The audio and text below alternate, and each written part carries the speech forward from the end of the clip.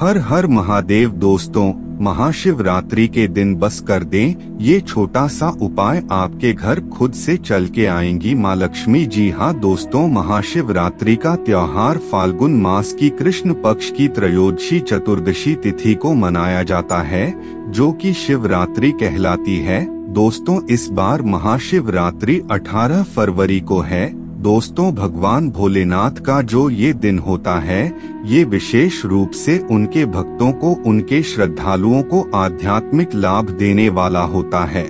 इस दिन दोस्तों, भगवान भोलेनाथ के भक्त विशेष पूजा पाठ करके भगवान भोलेनाथ की आराधना करते हैं, उनके लिए व्रत रहते हैं।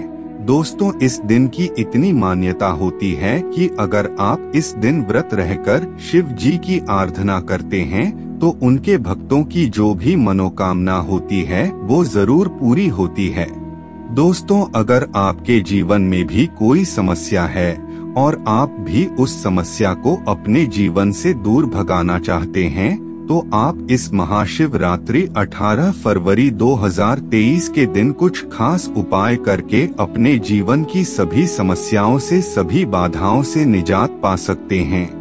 दोस्तों, बस आपको करने होंगे ये कुछ खास उपाय। साधारण क्या आप लोग व्रत पूजा तो करते ही है? महाशिवरात्रि को बस आपको इस बार उसके साथ कुछ खास उपाय करने हैं। फिर आपके जीवन से सभी समस्या, जैसे कि धन की समस्या, स्वास्थ्य की समस्या या कोई अन्य समस्या भी है वो भी समाप्त कर सकते हैं। माता लक्ष्मी की कृपा भी आपके ऊपर पूर्ण तरीके से होगी अगर आप इन उपाय को करेंगे।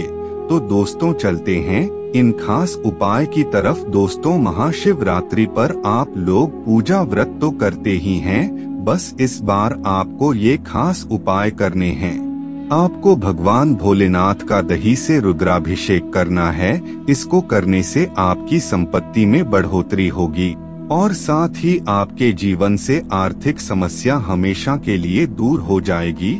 साथ ही दोस्तों, अगर आप भगवान भोलेनाथ का अगर गन्ने के रस से अभिषेक करते हैं तो ऐसा करने से आपको लक्ष्मी की प्राप्ति होती है और धन की प्राप्ति के लिए आपको महाशिवरात्रि के दिन शिवलिंग पर शहद और घी से अभिषेक करना भी अच्छा माना जाता है। इससे दोस्तों, रुके हुए धन की प्राप्ति होती है। अगर आपका कहीं पैसा फंसा हुआ है तो ऐसा करने से आपको वो जल्द ही प्राप्त होगा।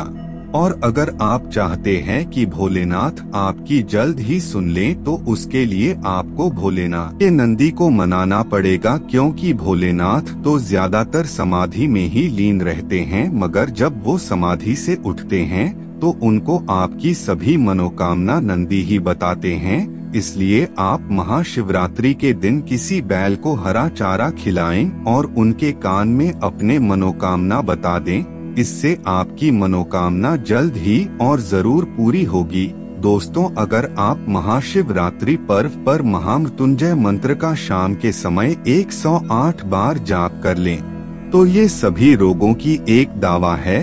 अगर आपका कोई भी काम ना बने तो आप बस 108 बार इस मंत्र का जाप कर लें। दोस्तों, महाशिवरात्रि के दिन शिवलिंग पर दुग्धाभिषेक करें और ओम नमः शिवाय मंत्र का जाप करें। दोस्तों, अगर आपकी कुंडली में कोई ग्रह कमज़ोर है, जो आपका कोई काम नहीं बनने देता है दोस्तों, अगर आपके जीवन में नौकरी की परेशानी है या किसी व्यापार में आपको कोई परेशानी आ रही है तो आपको महाशिवरात्रि के दिन तो आपको ज़रूर महाशिवरात्रि के दिन व्रत रखना है और जल में शहद मिलाकर भोलेनाथ का अभिषेक करना है और हो सके तो अनार का फूल भगवान भोलेनाथ को चढ़ा देना है फिर देखिए, आपके जीवन से सभी समस्या कैसे छूमंतर हो जाती हैं। साथ ही दोस्तों, अगर आप शिवरात्रि पर किसी जरूरतमंद की मदद कर देते हैं तो आपके जीवन से आपकी सभी प्रकार की समस्याओं का अंत हो जाता है।